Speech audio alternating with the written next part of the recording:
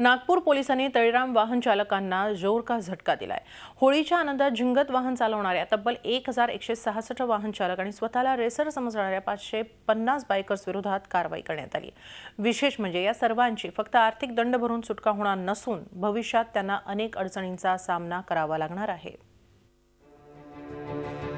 नागपूर वाहतूक पोलिसांच्या कार्यालयातील ही दृश्य संपूर्ण परिसर दुचाकी वाहनांनी भरलेला. एवढंच नाही.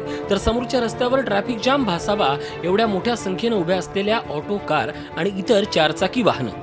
मुळात हे होळीच्या आनंदात झिंगाट होऊन वाहन चालवणाऱ्यांचं वाहन असून या सर्वांच्या विरोधात पोलिसांनी भक्कम कारवाई करत त्यांची वाहनं जप्त केली आहेत. आता या तळीरामांना किमान अडीच हजार दंड भरून त्यांची वाहनं सोडून घ्यावी लागणार आहेत.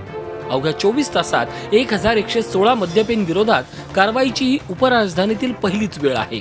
टोटल ड्रंक अँड ड्राईव्हच्या अकराशे सहासष्ट केसेस झालेल्या आहे आणि रॅश ड्रायव्हिंगच्या पाचशे बेचाळीस केसेस uh, काल परवा चार वाजल्यापासून आम्ही करत होतो. ते काल रात्री बारापर्यंत uh, एवढ्या मोठ्या प्रमाणावर कारवाई झालेली आहे नागपूर शहरमध्ये. दुचाकी दामटवणाऱ्या पाचशे पन्नास बायकर्स विरोधातही ओव्हर स्पीडिंगची कारवाई करण्यात आली आहे. विशेष म्हणजे यंदा पोलिसांची कारवाई फक्त वाहन जप्त करून दंड वसूल करणं इतपत मर्यादित नाहीये. तर पोलिसांनी मद्यपी वाहन चालकाची संपूर्ण कुंडलीच तयार केली आहे.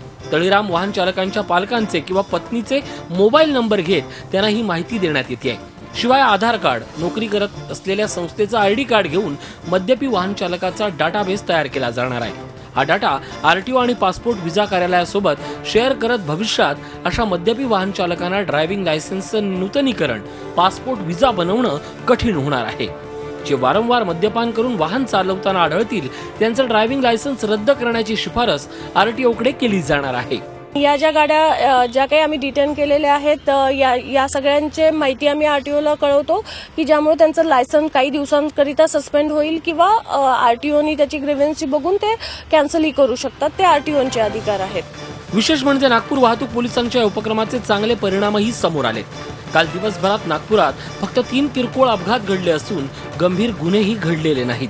कारवाई झालेले वाहनचालक आता वाहतूक शाखा आणि न्यायालयाचे उंबरठे झिजवत आहेत त्यांच्याकडून कायद्याप्रमाणे वसूल होणारे दंडही तीस लाखाच्या घरात असणार आहेत. जितेंद्र शिंगाडे झी मीडिया नागपूर.